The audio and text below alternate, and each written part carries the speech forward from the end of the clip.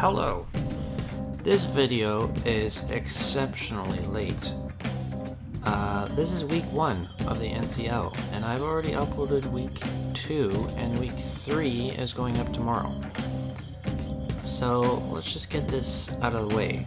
My team's on the right. You can see his team on your screen.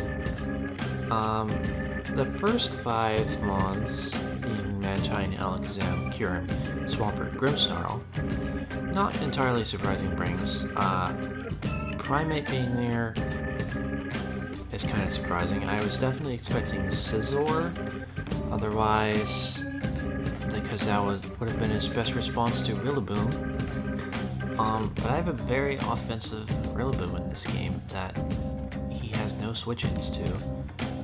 Uh, Kyurem is not a switch-in because it has its speed dropped by drum beating, and then I can low kick it for big, big damage. So naturally, I'm going to decide to lead with my Rillaboom, so I can get the early offensive pressure right out of the gate. And the only thing that would force me out on his entire team is Kyurem. I would just click drum beating against anything else that I see. So drum beating is 25%, and that reveals that this Kyurem is not defensively invested whatsoever. He has no HP or defense investment.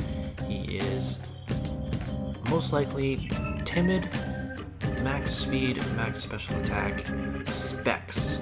100% specs by that damage that he did to Porygon 2. So, I just get Trick Room up. I'm not sure if he wants to stay in and continue clicking Ice Beam, but Trick Room is just the best all-around play, because if he does stay in, I can recover the next turn, and if he switches out, does something like this, then I get a free Toxic off instead. And he doesn't appear to have any status or taunt for my um, my Porygon 2, and he's actually not even Prankster Grimmsnarl, he's just uh, Frisk, so oh no, you frisked my Eviolite! Was Porygon 2, I don't think you need a Frisk to determine that anyway. So, we get a free Toxic on the Grimmsnarl and recover up to full. We get our Camerupt in on the last turn of Trick Room. Mantine is obviously here to check the Camerupt. We actually brought Rock Slide, which is Sheer Force boosted to hit the Mantine if we need it, but getting rocks up is of more importance. So, I did not realize that Defog in this generation now gets rid of terrains on the field, so it defogged away my rocks and my Rillaboom's grassy terrain, which was actually pretty interesting, but that means that I could actually bring in uh, Hawlucha without activating my Grassy Seed yet against the Kyurem to force it out and get damage off against the Swampert. And I should have known that the Swampert is going for rocks, and I kind of wanted, like, if I had thought more about that play, Hatterene would have kind of came in there and got the magic bounce off, and I would have bounced the, the rocks back against him, and then I just would have gone Rillaboom the next turn, but Rillaboom in against Swampert is not a good matchup for him because he has no switch-ins, and he's now realizing this, having let both his Mantine and his Grimmsnarl take over 60% from a drum beating. He is going to get actually quite a powerful Sucker Punch off against me and bring me down. After Grassy Terrain, I'll be... Uh, oh, no, I'm switching out, apparently, because I killed him with U-Turn. I did not want to stay in, I guess, because I didn't want to let Kyurem come in, but Kyurem comes in against Drapion anyway. I'm not entirely sure what I was... what the goal was getting Drapion in this position. Um, because I basically let him kill it. And now I have a lot less checks to make an Alakazam in the back. Uh, but we do just get a free switch into Hawlucha, we can high jump kick and KO the Kyurem, and now that means Alakazam can come, can come in, and you're about to see a massive mistake that I made in prep.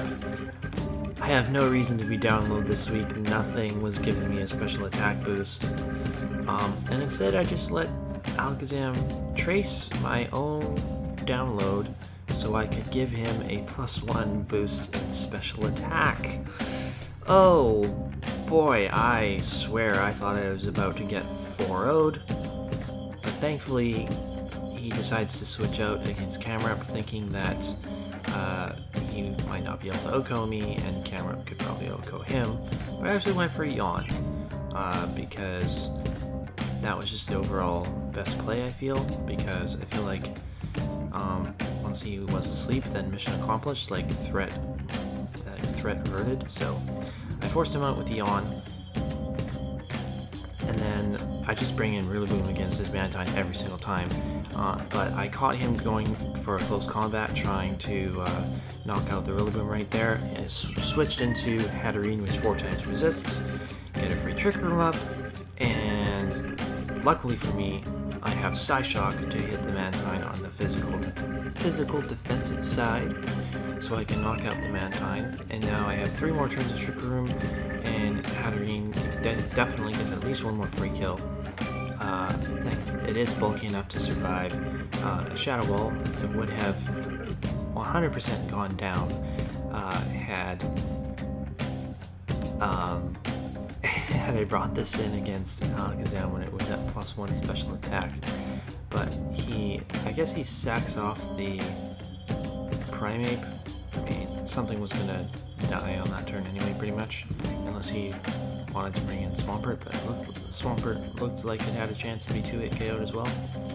So now at this point, Hatterene did the appropriate breaking to open the door for Hawlucha's sweep onto grassy terrain because Rillaboom can come in, KO the Swampert. I believe Rillaboom picks up two KOs in this game. Yep, two KOs for Rillaboom, two KOs for Hatterene, and two KOs for Hawlucha because Hawlucha came in earlier before its Grassy Seed was activated and KO the Kyurem, and now he's going to KO the Mega Alakazam.